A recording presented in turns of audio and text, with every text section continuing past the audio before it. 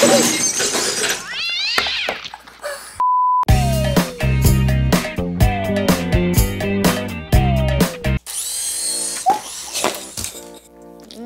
don't bite it! That's the Heliball. Today, we're going to be doing a two-minute toy review. And before we get started, make sure to ring the notification bell, give a huge thumbs up, and also don't forget about an even bigger. No, don't do this. Don't do this. Bigger. Ideas, I landed it. and bigger and bigger and bigger. Thumbs up, thumbs up. Okay, let's get started. The timer is gonna start in three, two, one. This Heliball has two actions. You can either do it with a remote or you can use your hand, foot, or any object can, to control it. Ah! Open, open, open. It's not opening. Oh, there's a bottom. It's already open.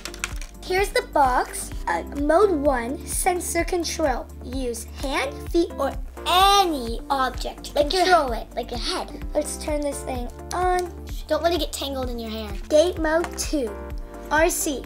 Manual speed, height, and control. It shows how to use it and all the different things. If you're new to our channel, make sure you subscribe. This is the motion sensor.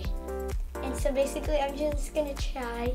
Sorry if it just goes in your face, but okay. Three, two, one. Okay, wait. Away. it's so hard. It's so it's like it's so cool. It's so much air. Careful! Whoa! It's gonna cut me. Okay, guys. Okay, now it's time for the other way. This is now the remote control. Mode two. Ready, set, go, Bryce.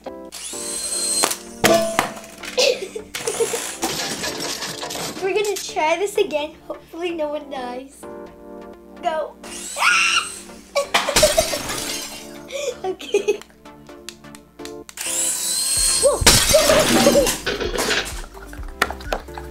okay, guys. I think we're gonna have to wrap it up now. This is the end of the two-minute toy review. We hope you enjoyed it. Remember, this thing is kind of dangerous and super fun, so just be careful around the little ones with it. But it also does take practice, and it's super fun. Thank you for watching our two-minute toy review.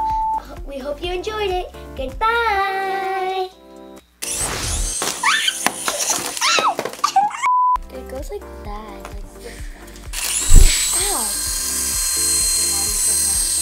Give